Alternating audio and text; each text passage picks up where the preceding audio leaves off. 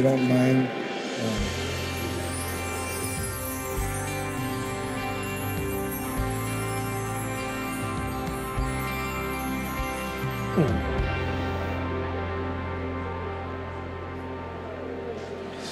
I have to go. Ah, sandali.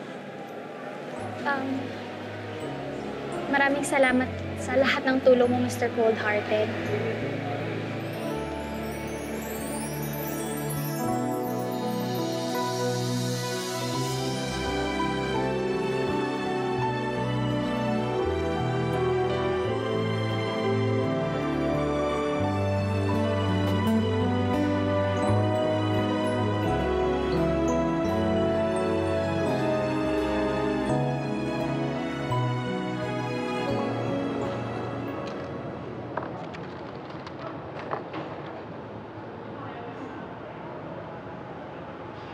Looks good.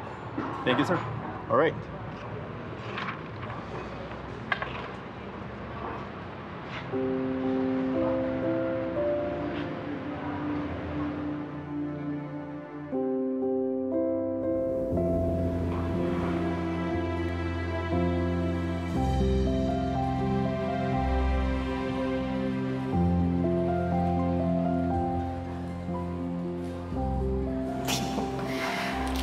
Sorry.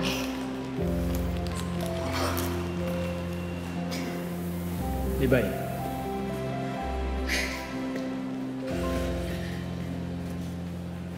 Sana. Libay.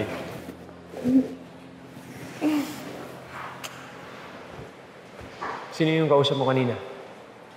Nanliligaw ba yun sa'yo? Sabi niya. Dapat ba akong kabahan?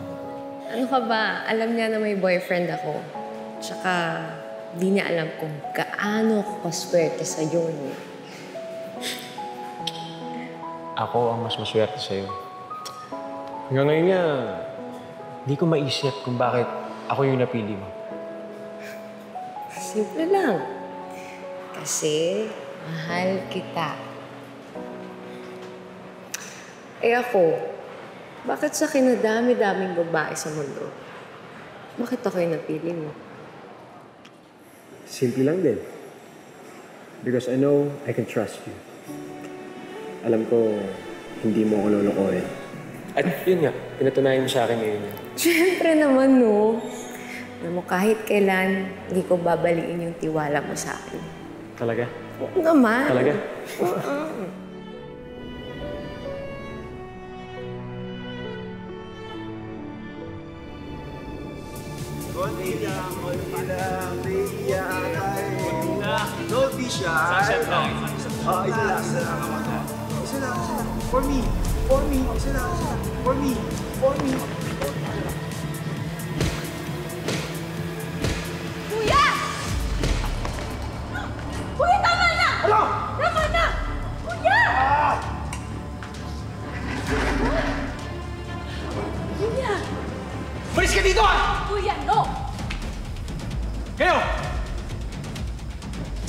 Libay? Libay, can you hear me? Hindi kayo alis? Ha? Alis! Kuya! Kuya, ano ba? Malis ka na! Tama na! Kuya! Alis! Tingin ka pa, ha? Kuya, ano ba? Just go, just go. Libay. Libay, Libay, Libay. Libay. Narinig mo ako? Kuya, I'm sorry that you have to see this.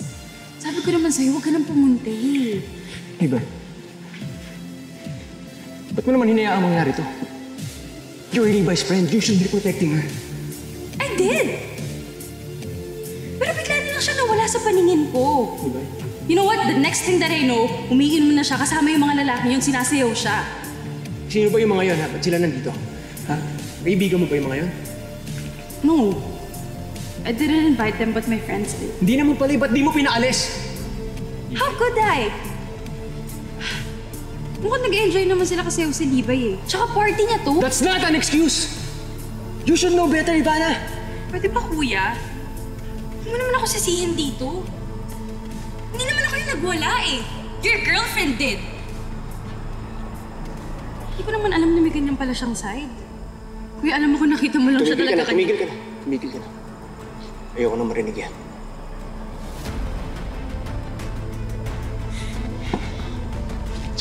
Libay. Libay.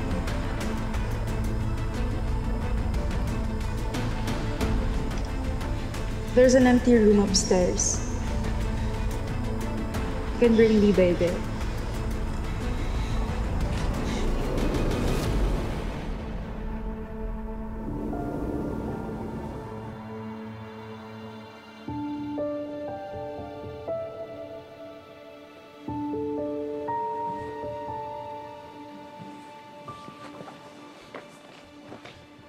Libay.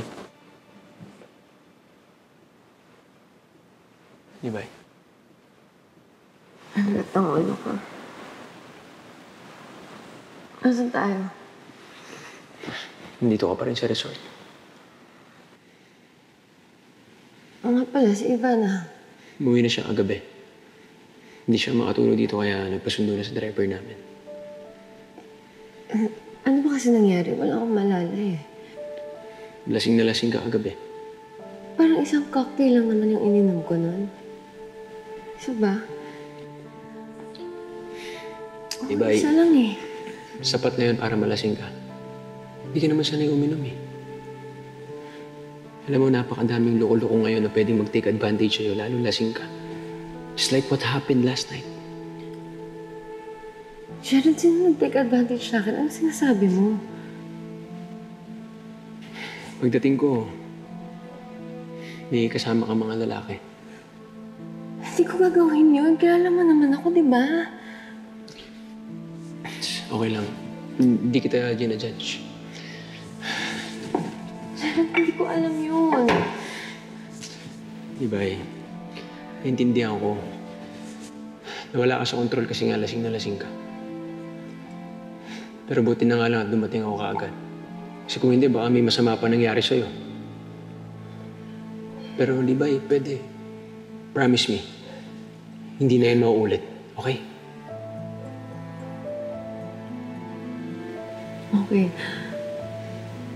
Promise. Sige na, maganda ka na. Ihatid na kita sa inyo.